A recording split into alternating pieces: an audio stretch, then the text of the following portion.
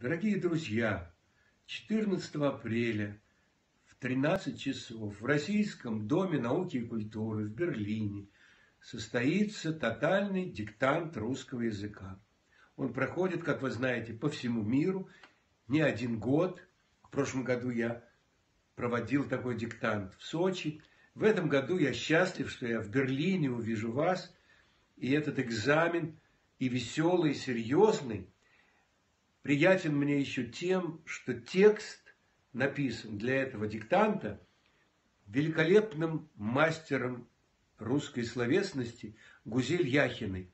Ее книга «Зулейха открывает глаза» – это шедевр нашей литературы, как вы знаете, последних лет.